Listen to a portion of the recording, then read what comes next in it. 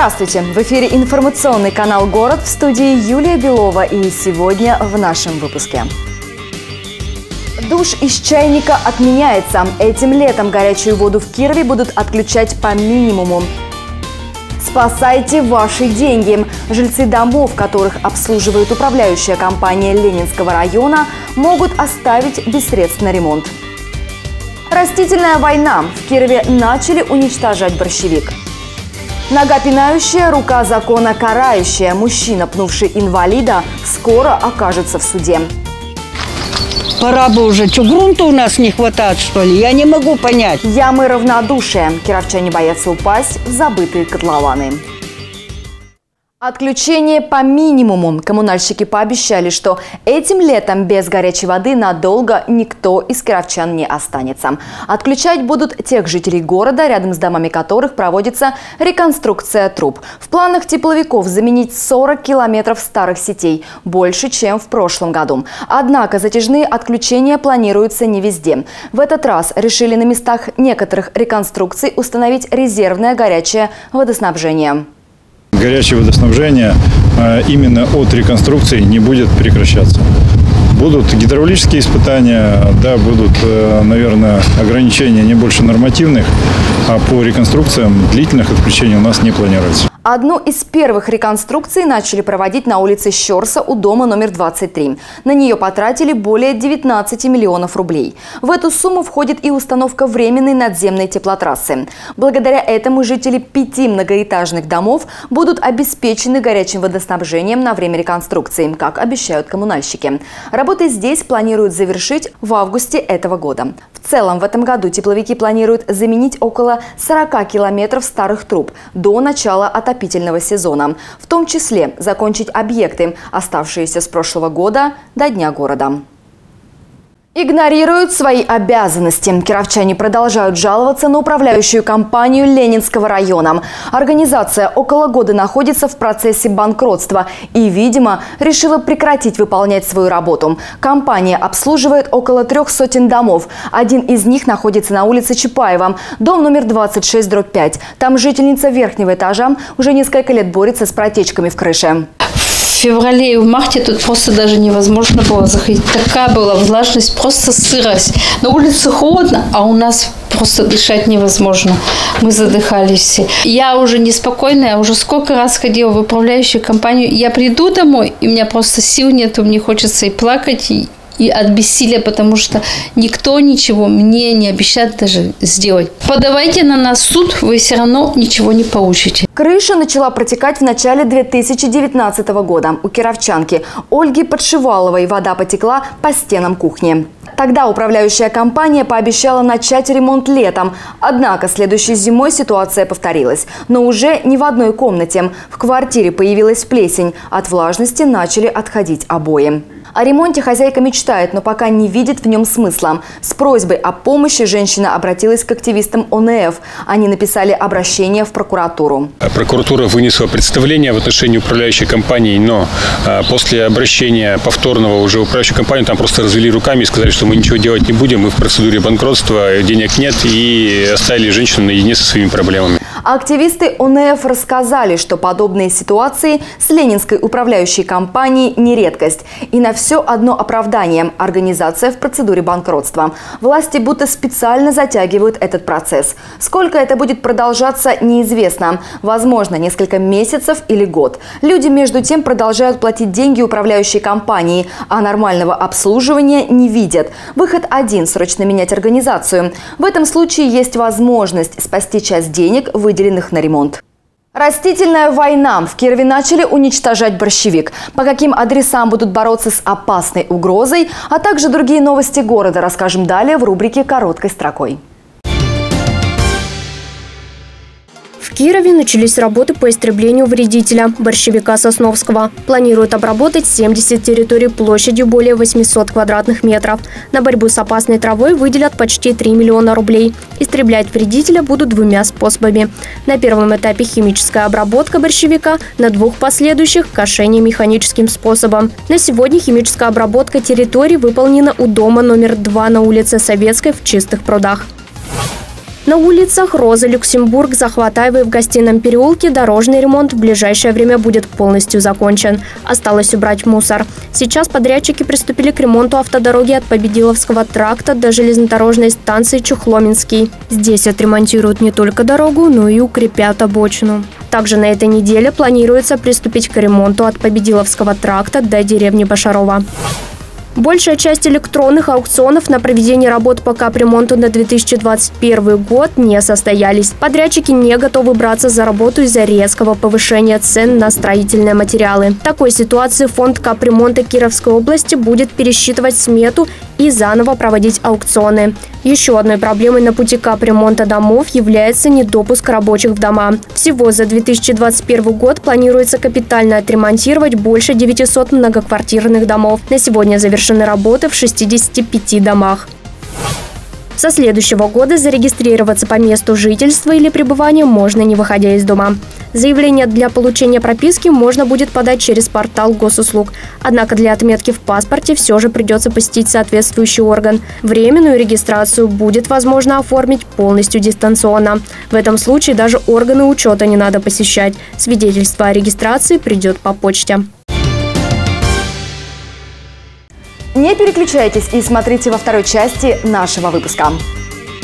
Нога пинающая, рука закона карающая. Мужчина, пнувший инвалида, скоро окажется в суде. Пора бы уже. Что, грунта у нас не хватает, что ли? Я не могу понять. Ямы равнодушия. Кировчане боятся упасть в забытые котлованы. Из Америки с любовью. Кировчане следят за спутниками Илона Маска на звездном небе. Эти и другие новости буквально через пару минут.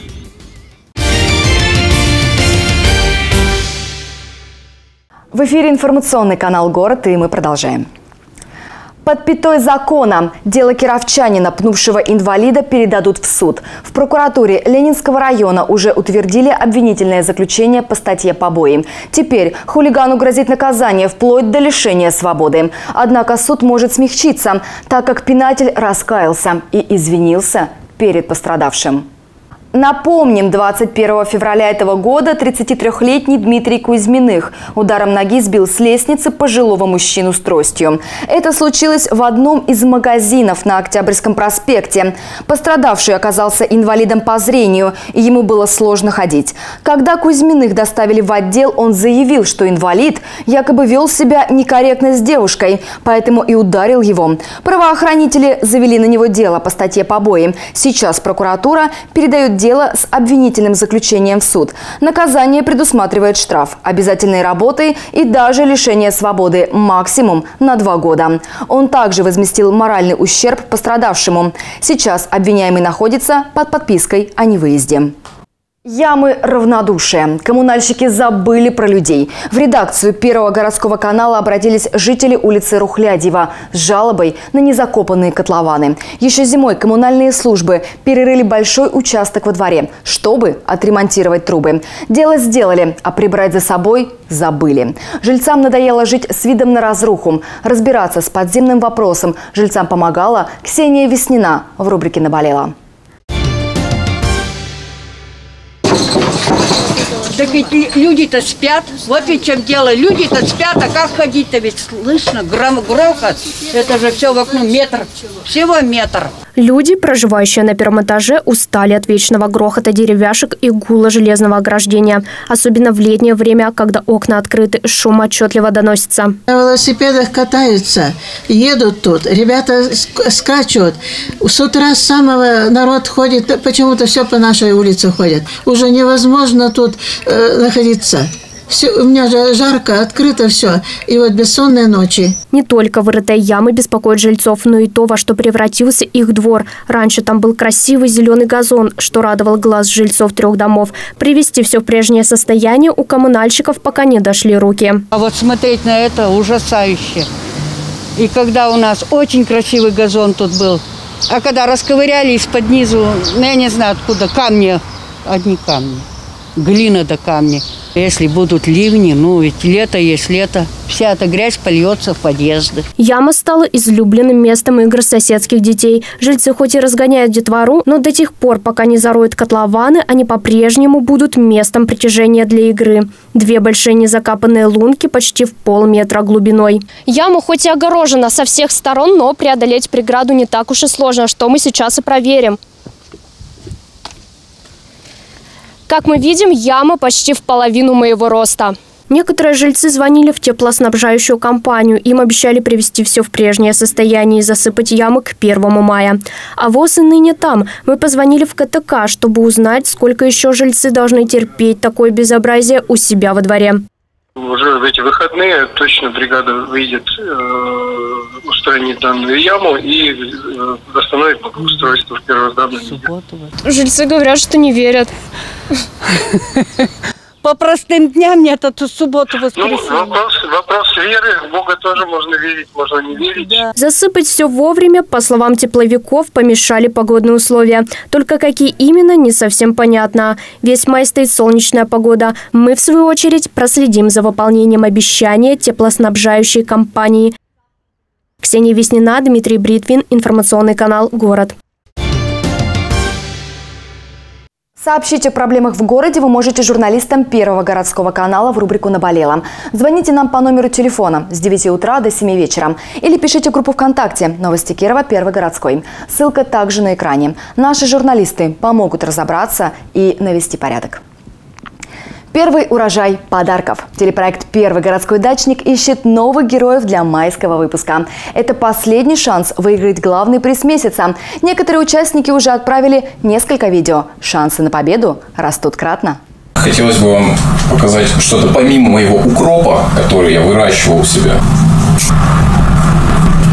Видеоролики о своих дачных участках можете отправлять нам в сообщение группы ВКонтакте «Новости Кирова». Ссылка на нее в углу экрана. Лучшие экскурсии по зеленым насаждениям покажем в прямом эфире. Это возможность показать себя и свои оригинальные дачные идеи кировчанам. Чтобы получить больше шансов попасть на телеэкраны, добавляйте в свои ролики креатив. Некоторые участники разбавляют видеоэкскурсии песнями и танцами.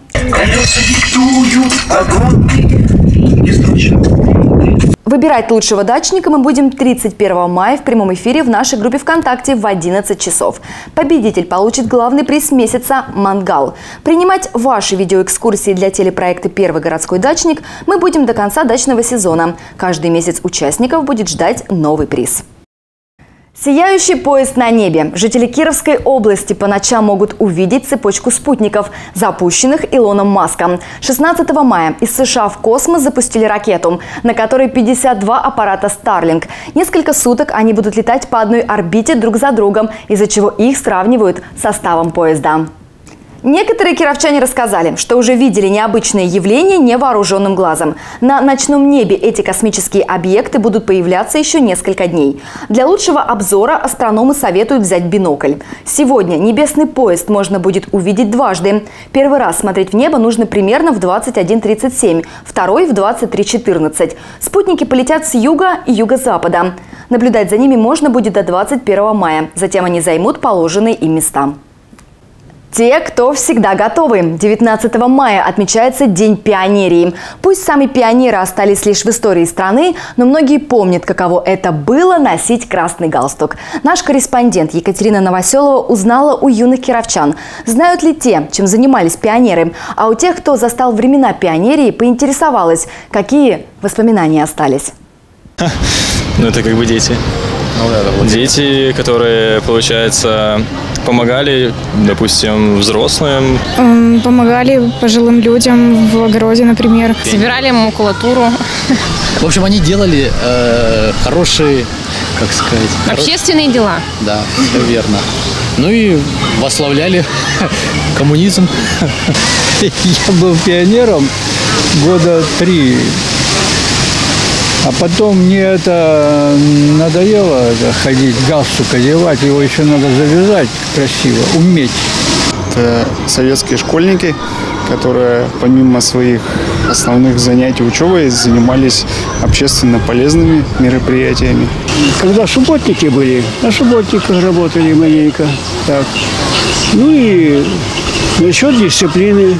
Э, У меня мама была пионером. Э, Чем они занимались? Ничего интересного она мне, если честно, не рассказывала. Ходили на митинги. Что-то типа, наверное, какого-то лагеря летнего. Помогали там ветеранам или чем-то таким. Когда моя мама говорила о пионерах, но они же в это время учились, у них обычай было, у них, во-первых, уважать надо старших, надо чисто, аккуратно ходить, надо, например, ком- кому-либо, например, помощь нужен, надо помогать. Типа волонтеров. Как помощники они, вот, А как думаешь, тебя бы взяли в пионеры? конечно. Почему? Самые лучшие.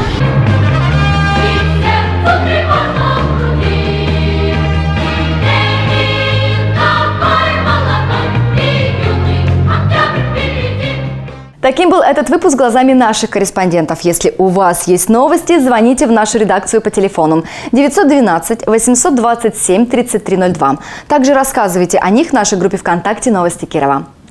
В студии была Юлия Белова. Хороших новостей и увидимся в городе.